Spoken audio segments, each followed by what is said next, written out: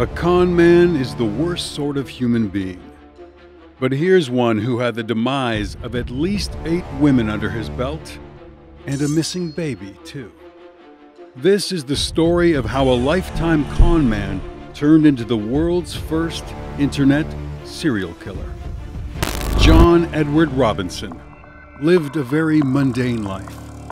He was an Eagle Scout, a choir boy, and an aspiring priest in his youth. But he had a dark side that would soon lead him, little by little, into the most abhorrent of human actions. John became a con man early in life. He dropped out of Quigley Preparatory Seminary in Chicago for disciplinary reasons. He managed to get in two years of college to be a radiographer, but quit that too. That didn't stop him from getting a job, however. He worked fraudulently at several hospitals where he was apprehended again and again. Stealing, embezzling, defrauding, and several dalliances with women staff members. Over and over, he was found guilty of white collar offenses, but somehow avoided any serious punishments. This guy even threw himself a Man of the Year banquet. He wrote fake letters of recommendation to city board members and ordered his own plaque in an attempt to defraud the community. He barely got a slap on the wrist. At what point should white collar offenses be considered the start of something worse? John conned his way through most of his life, coming up with one scheme after another in an effort to strike it rich. Even started phony companies to gain investments and profits just to close the doors and run away with it all. By the mid 1980s, he was happily married to Nancy Jo Lynch and a father of four. He was a church elder and scoutmaster living a pious life in Kansas City, Missouri. He was also a money hungry predator of women. In 1984, he placed an ad in the newspaper for a sales rep for one of his many startups. Paula Godfrey answered the ad. It was the last job she would ever take. After meeting with John, Paula told her family she had to go away for training. No one ever saw her again. Paula's dad, William, confronted John, who claimed no knowledge of her. A short time later, Paula's family received a typed letter signed with Paula's signature.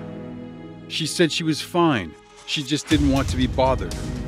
Eventually, the letters stopped too. In 1985, John founded another fraudulent company, the Kansas City Outreach Program. He claimed it was a charity in place to help women in need. He told women's shelters he could offer jobs, GED tests, and housing for single moms. What he really had in mind was far more sickening. That's how he met Lisa Stasi when she came to him for help. He put her up in a hotel and promised her a job and daycare for her baby girl, Tiffany. She called a family member crying, saying that she was being asked to sign blank pieces of paper, but had to hang up quickly. No one ever heard from her again, or her baby girl. But her family got a letter, a typewritten letter signed with Lisa's signature. It stated that she was fine and starting a new life with her daughter. She wanted to be on her own. Catherine Clampitt disappeared in 1987 after taking a job with John at a management consulting firm he started. 1987 was also the year that John Edward Robinson finally started paying for his cons. From 1987 through 1993, John was in and out of prison for various fraud and embezzlement charges. While in prison, he started an extramarital liaison with the married prison librarian, Beverly Bonner. After his release, Beverly left her husband, ran away with John, was never seen again. Her alimony checks still found their way into John's bank account, though. That's when the internet happened, and it took John's game to a whole new level. By the mid 1990s, John Robinson had five computers running at all time, constantly trolling for an easy target. He developed a few websites, including a dating site for a dominant, submissive subculture. John Robinson had found the perfect hunting ground. It had never been easier for him to con unsuspecting women into taking their final trip into his fiendish clutches. Sheila Faith met John online. He promised to pay for her 15 year old daughter, Debbie's, cerebral palsy surgery and finally get her out of her wheelchair. They disappeared immediately after arriving in Kansas City from California. Sheila's pension checks made their way into John's bank account for the next seven years. Izabela Lewicka met John online too. She got the same promises of a great job and a nice apartment as everyone else. But she had another job to do as a love servant. She had met John on a submissive website and signed a contract stating she was his personal love servant. It gave him complete control over every aspect of her life, including her bank accounts. She disappeared shortly after starting work for John in 1999. The year 2000 was the beginning of the end for John Robinson. While the world celebrated the new century, Suzette Trouten moved from Michigan to Kansas to travel the world with John as his submissive and nurse to his father. In a matter of months, her family started to suspect something. Her emails didn't sound like her, and her beloved Pekingese dogs were found abandoned. Suzette's mom, Carolyn, called John, who told her Suzette was fine. She was off on a boating adventure with a new boyfriend. When she wanted to call the police, he told her not to. Soon after, Suzette's family started to receive signed, typewritten letters from her.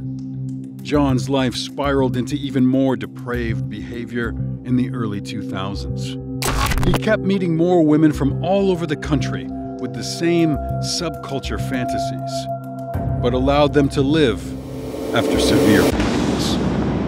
Once he scared them into submission, he took everything they had. He then left them penniless in seedy hotels, alone in an unfamiliar city for days, and often made them sell themselves. He would take their pictures in compromising situations and threaten to publish them online if they didn't obey his wishes, which always included access to all their bank accounts. One woman finally escaped and called the police, which started the unbelievable discoveries that led to his arrest. Investigations on John were already underway.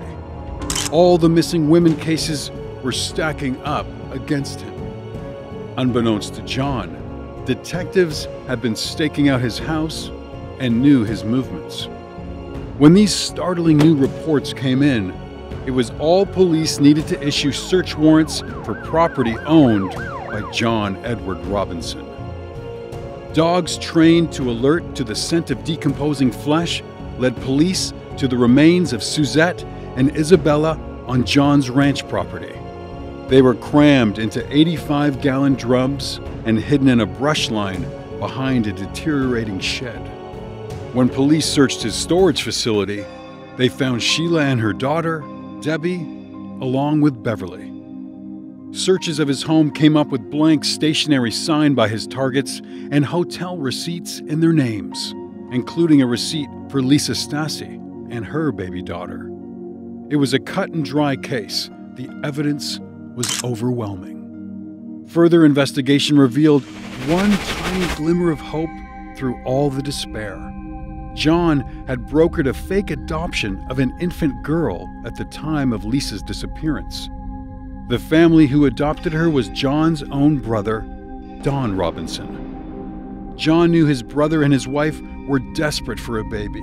He told them he knew an adoption lawyer who just happened to have a new baby girl. After collecting a legal fee of over $5,000, he gave them Lisa Stasi's little girl. She was 15 years old and had a new name, Heather, when she found out the man she thought of as an uncle was a sadistic monster. Autopsy reports showed in trial indicated the missing women were all bludgeoned with a hammer. John Edward Robinson was found guilty in the cases of Beverly Bonner, Izabela Lewicka, Sheila Faith, and Suzette Trouten, those whose remains were found. He was also found guilty for those whose remains still hadn't been found Lisa Stasi, Paula Godfrey, and Catherine Clampitt. He received the ultimate penalty of capital punishment. The Kansas Supreme Court upheld the sentence in 2015. In 2007, Lisa Stasi's daughter, Heather Tiffany Robinson, won a judgment prevents John Robinson from ever profiting from his story. Do you think it's possible to reach John's level of con in today's age of cybersecurity? How do you think he stayed under police radar for so long? Let us know what you think in the comments. Don't forget to like and subscribe for more content just like this.